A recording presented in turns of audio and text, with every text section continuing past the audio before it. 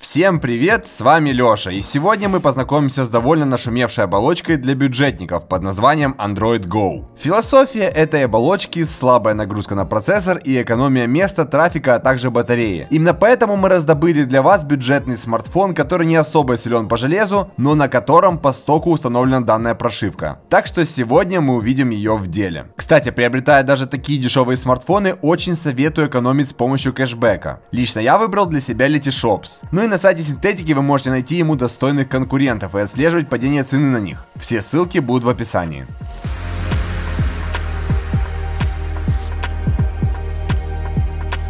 Итак, сходу вопрос. Сильно ли тут все урезано по сравнению с Android One? И, к счастью, не так много, как могло бы быть. Иконки приложений у нас квадратные, да и по всей системе заметно, что дизайн тоже весь какой-то квадратный. Стандартные иконки выглядят проще и немного отдают стареньким андроидам. И основные гугловские приложения с пометочкой Go. Панель управления осталась такой же, а вот режим многозадачности изменился. Приложения в нем расположены не друг за другом, как в Android One, а поочередно. И анимация тут минимальна. Но что мне очень понравилось, так это то, что кнопка «Очистить все приложения» находится не в самом верху списка, до которого еще нужно долистать, а внизу поверх всех запущенных приложений, что немного упростит процесс закрытия их всех одновременно. В шторке появилась иконка экономии трафика, и это удобно, ведь теперь ее можно включить прямо тут. Да и добраться к ее настройкам можно очень быстро. Окей, теперь пройдемся по основным приложениям. Первое это Google Go. В нем вы можете найти переводчик, погоду и другие сервисы веб-версии, а также предлагаемые приложения на разную тематику.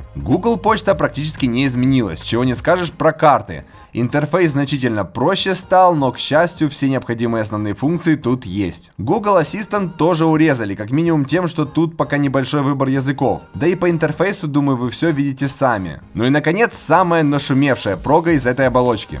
YouTube Go. В нем тоже много чего нет. Самое болезненное для меня это отсутствие разделов подписки, но зато можно глянуть превью каждого видео в виде гифки, а также увидеть сколько трафика съест просмотр видео. И по идее можно их скачивать и в специальном разделе передавать друзьям, у которых тоже YouTube Go. Но какое бы видео я не пытался скачать, мне пишет, что автор не разрешает мне этого сделать. И скорее всего проблема это из-за нашего региона, так как даже ролики, которые гугловцы качали на презентации Android Go, у меня тоже недоступны. А в настройках своих роликов кнопки о разрешении скачивать наши видео мы не нашли. Зато в приложении Files Go тоже есть функция передачи файлов, и она тут, к счастью, работает, что лишает потребности устанавливать всякие шерит и мидроп. Кстати, Files Go также можно почищать ненужные файлы и мусор. И реально оболочка не приносит какого-то дискомфорта, ведь по сути, если вам нужны обычные версии этих приложений, то добро пожаловать в Play Market. Так для каких же смартфонов она? Как говорили на самой презентации, оболочка предназначена для смартфонов до 100 долларов со слабой начинкой, как, к примеру, в General Mobile GM8 Go. И немного о нем. Комплектация такая же, как и в GM8, можете глянуть обзор у нас на канале, чтобы не повторяться, ведь тут все то же самое. Сам корпус бюджетнее некуда, все из пластика, такого же низкокачественного, как и в GM8. Да еще и крышка снимается, под которой съемная батарея и слот под одну SIM и microSD. Old school прям. Ну и сканер отпечатков пальцев сзади, а вот спереди HD плюс экран 5,5 дюймов с соотношением сторон 18 к 9. Чуть меньше, чем GM8, а так он точно такой же. Чего не скажешь про оперативную память в 1 гиг и процессор MediaTek 6739.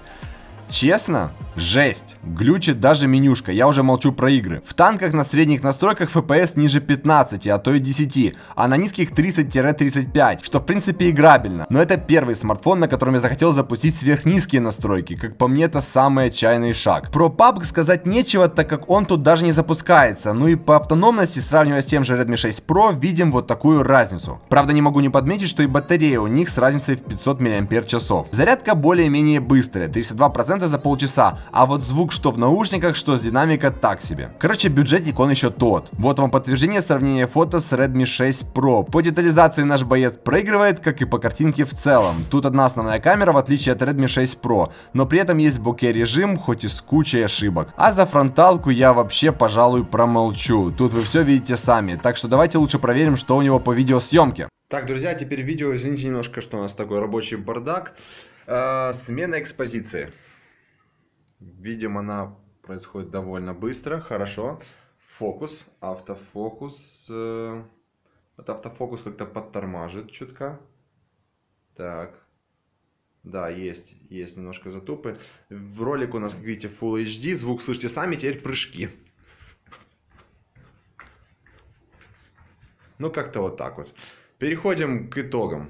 Итог. Android Go. Очень интересная идея в нем лежит, которая, думаю, найдет своего потребителя, но не в наших странах уж точно. Так как у нас хоть и не везде есть интернет, но с ним не так все туго, чтобы видео из YouTube перебрасывать друг другу. А вот по GM8 Go скажу вот что. При его цене в 142 доллара ему просто позор быть с таким железом, пластиковым корпусом и HD экраном. Потому что тот же Redmi 6 Pro, который лучше его абсолютно во всем, стоит 140 долларов на момент записи этого видео. И я не понимаю, на что надеется General Mobile. Но в любом любом случае, я надеюсь, видео для вас было полезным. Поэтому пишите в комментариях, что думаете про Android Go и до скорого.